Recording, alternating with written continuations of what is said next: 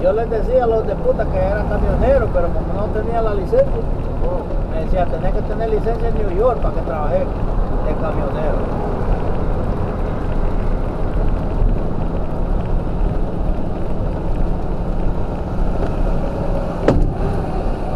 Puti, ese hijo de puta, ¿por qué me pegó tanto?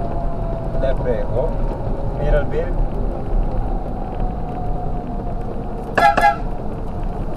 Va borracho, ¿qué? Si yo venía bien, va. Mierda, qué pendejo, allá se fue, me.